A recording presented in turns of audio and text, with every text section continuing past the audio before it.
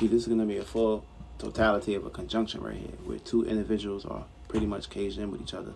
And when things become a conjunction, and when things become a conjunction, things can pretty much become too tight. That means you put your eggs on the stove and the shit, you left that shit on there, and of course the shit fried. So that means you had too much power, too much eggs, too much ways to basically cook, and of course too much comfortability. And of course it's gonna put you into a situation where you may be naive. Maybe You may be like, oh, fuck it, I can pretty much get some more eggs.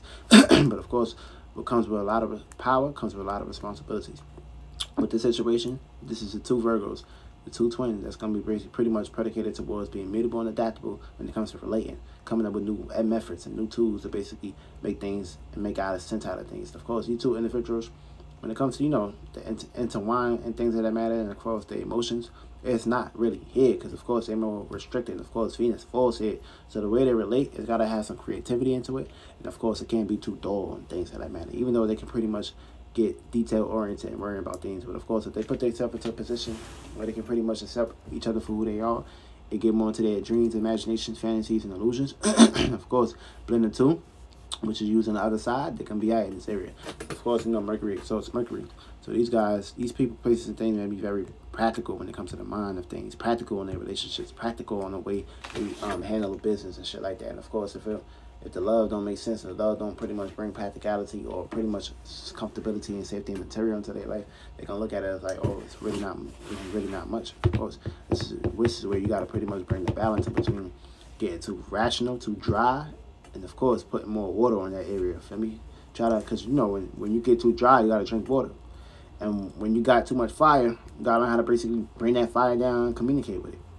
You got too much water, you gotta learn how to pretty much bring earth and shit dry it up a little bit for me because you drink too much and shit. For me, try to like hold on. For me, trying to put too much water in there. For me, let this shit dry now. For me, you, you already took care of the situation. For me, you already put water on your body. Let your body dry now. For me, so you can put your clothes on. For me, so you can relate. So it's gonna be a situation. You know, these two Virgos are gonna pretty much they can bump heads if um the relationship is not really moving nowhere. And of course, these people places things not situations where things don't make sense in a relationship communication is going to be off the roof. They're going to be able to communicate, interact with anything. For me, things that they value, they're going to value pretty much the same thing because they're the same sign. For me, now depends on what the Venus at. You know, if they got a different Venus, maybe situations things can be pretty much different. Now they got a Venus and Libra, then you know it's gonna pretty much be a conjunction. So they may be they may gonna they're gonna find comfortability and safety and relate.